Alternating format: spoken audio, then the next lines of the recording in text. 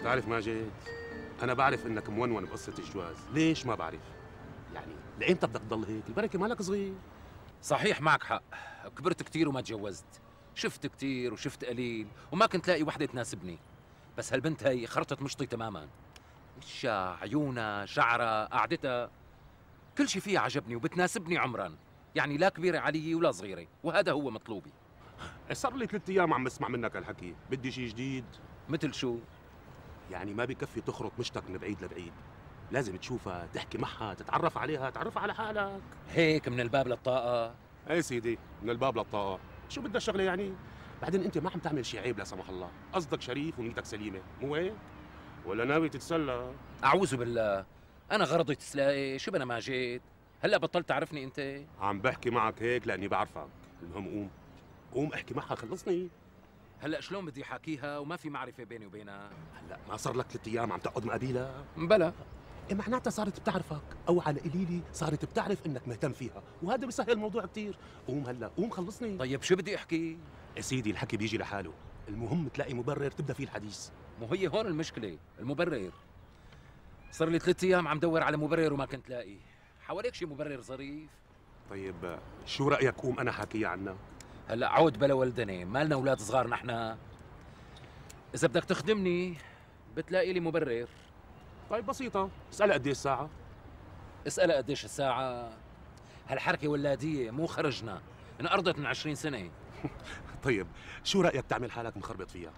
شلون يعني؟ يعني مثلا هجوم عليها دغري وإلا مرحبا سهى على أساس تعرف وحدة اسمها سهى واستشبهت فيها. بتقوم بتقول لك أنا مو سهى يعني بعدين بتكفي من عندك. لو كنت مستشبه فيها كنت حكيت معها من يومين مو هلا. بعدين خايف عن جد يطلع اسمها سهى بعرف حظي أنا. طيب شو رأيك إنك تحمل حالك وتقعد جنبها وتستعير منها المجلة اللي بإيدها؟ ماشي الحال. فكرة معقولة ادعي لنا أخي ماجد. الله ياخذ بيدك. استناك ولا أمشي؟ انتظرني دقيقتين. إذا شفتني عم باخذ وبعطي بالحديث اتكل أنت. لوين بدي اتكل؟ خذ تاكسي وروح انتظرني مطعم الشلال.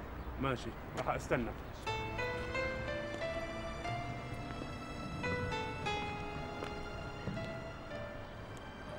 عفوا انسه في حدا قاعد هون؟ شكرا.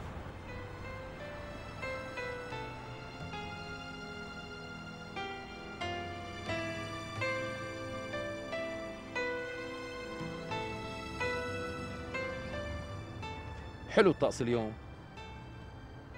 لطيف كتير. لا برد ولا شو.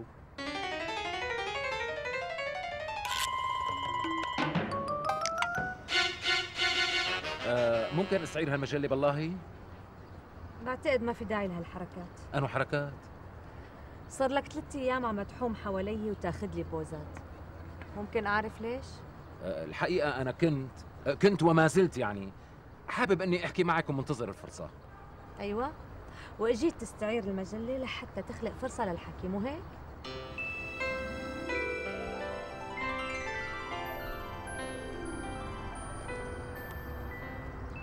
طيب عفوا. أنت شلون بدك تحكي معي من دون ما تعرفني؟ أنا قلت لحالي إنه ممكن نتعرف على بعض بالأول بعدين بنحكي. طبعا إذا ما بدائك هالشيء بس آه، بترجاكي بترجاكي لا تفهميني غلط. أنا مو من الناس اللي ببالك منه بالعكس أنا نيتي تجاهك صافية تماما. على كل حال مو مشكلة. أنا ضجرانة وحابة دردش مع أي شخص. ماشي الحال. أنا اسمي عادل. وأنا سهى سهى شو؟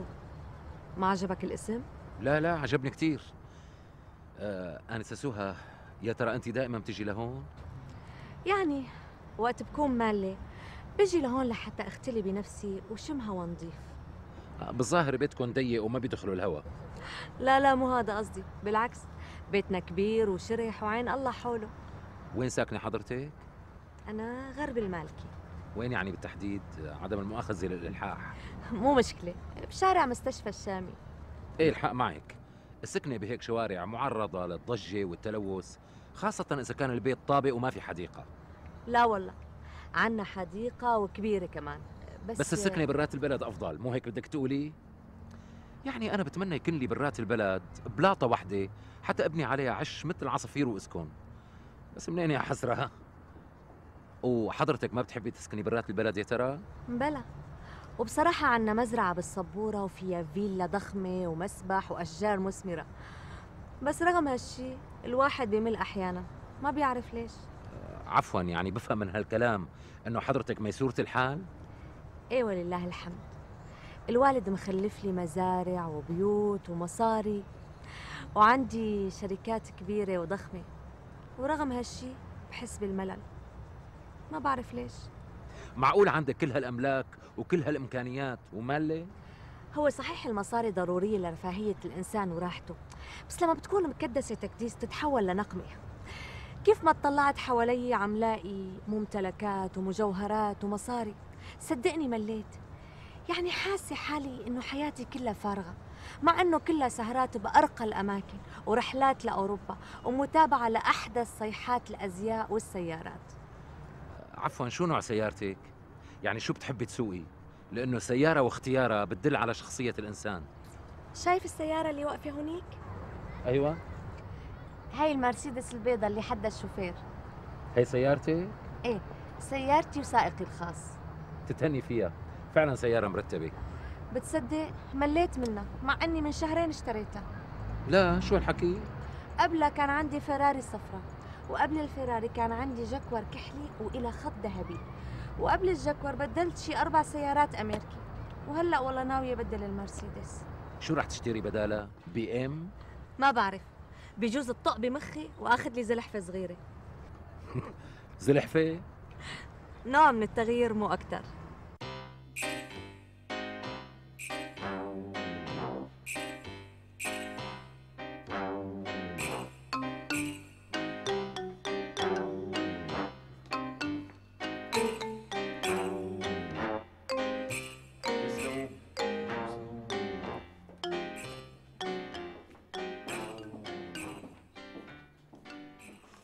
تعرف يا أستاذ عادل إني ما بثق بحدا من اللي حوالي؟ بحسهم كلهم منافقين ومخادعين وصيادين فرص. والكل بيتعامل معي من شان ثروتي مو من شان شخصي. مشان هيك عم أحس كل شي حوالي مزيف وبارد وممل. الله يعينك. تاري عم تعاني كتير مو بس الفقراء اللي بيعانوا. نيال الفقير وعيشته. كلها بساطة ورضا وقناعة وصدق. عفوا انسه سهى إذا سمحتي لي أتدخل. يعني كمان أنت بتتحملي مسؤولية هالشيء قصدي إنك فيك تختاري لنفسك أجواء خاصة ونمط معين لحياتك بحيث إنك تكوني مرتاحة. هذا الحكي نظري. لو كان عندك ثروة بحجم ثروتي ما كنت حكيت هالحكي. ليش كل هالقد ثروتك كبيرة؟ إيه كبيرة. لأني أنا البنت الوحيدة للوالد الله يرحمه. هو كان مغترب وكان عنده أملاك كتيرة. ولما توفى ورثت كل شي عنه. صحيح أنا ما بشتغل بإيدي وعندي موظفين ومستشارين ومدراء أعمال بس مجرد متابعة الأرقام وإحصاء الأرباح بوجع لي راسي. والمشكلة إني وين ما حطيت مصارية بربح. لو كل الناس خسرت أنا الوحيدة اللي بربح. فعلا مشكلة. تخيل من سنتين اشتريت مزرعة بقر ببريطانيا لأنه والدي الله يرحمه كان يشتغل هنيك المهم اشتريتها بخمس ملايين دولار. وبعد فترة كل بقر بريطانيا جن إلا بقراتي ما صار لهم شيء. لا مو بس هيك. زاد سعرهم كمان لأنه ما جنوا. العمى على هالحظ آه، قصدي شو هالنحس هاد ومرة اشتريت مزرعة عنب جنوب إسبانيا. نحمر بيا مربط خيل العرب يومتها انضرب موسم العنب كله. لحقته دودة وما خليت منه شيء. إلا عندي. ضلوا عم باتي مثل ما هن وبعتهم بأغلى الأسعار. لا حول ولا قوة إلا بالله. ليش هيك عم يصير معك انت النحس لاحقني وين ما رحت. ليكون وجعت لك راسك بحكي. لا لا ابدا. أعوذ بالله. بالعكس أنا مسرور كثير لأنك فتحتي لي قلبك وحكيتي لي كل هالحكي. فعلا. أنا كنت بحاجة لأي إنسان لحتى أحكي له وجعي. صحيح ما سألتك. أنت شو بتشتغل؟ أنا؟ إيه أنت. شفتي البقالية يلي ورا جنينة يلي إلها خيمة خضراء؟ إيه عرفتها هي إلك؟ لا شو إلي؟ بشتغل فيها بس. آه شو بتشتغل بياع؟ لا محاسب ورا الصندوق. يعني هيك شغلي على قد الحال. يعني أنت فقير؟ يا ستي بإمكانك تقولي فقير أو معدم لأنه الراتب قليل كثير. إيه نيالك.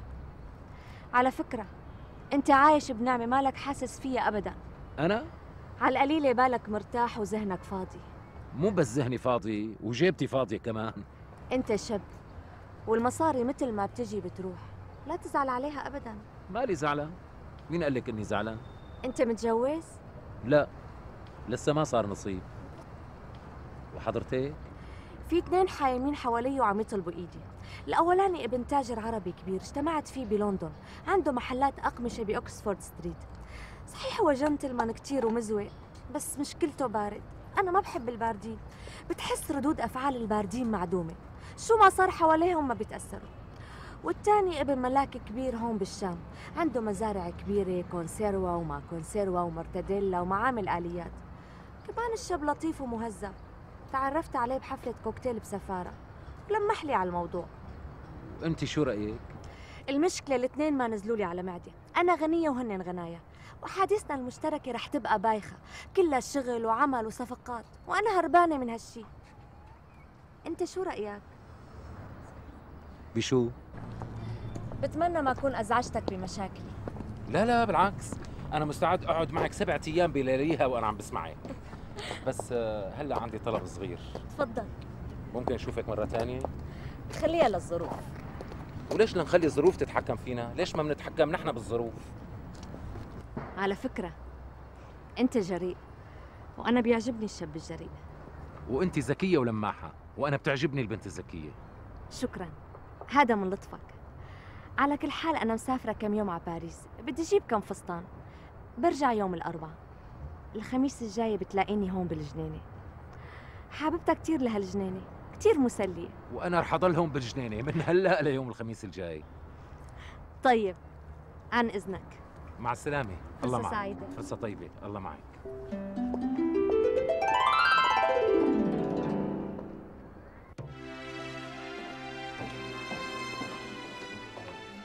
شو أستاذ ما رح تتغدى عنا؟ لا والله بدي أمشي. إذا حدا سأل عني قل له ماجد عم يستناك بجنينة خليه ينتظرني. حاضر. شكرا. أهلا وسهلا.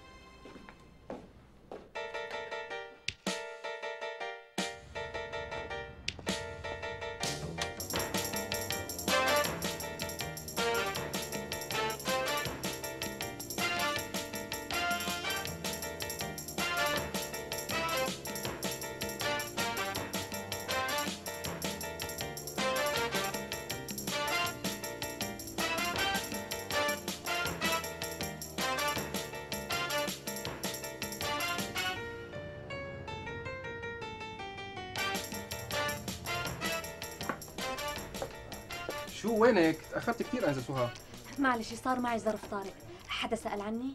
سأل عنك صاحب المحل وكان معصب كثير إيه وشو قلت له؟ قلنا له راحت مشوار ضروري كثير وهلا بترجع وحكى شي؟ لا ما حكى هي الفواتير عندك يلا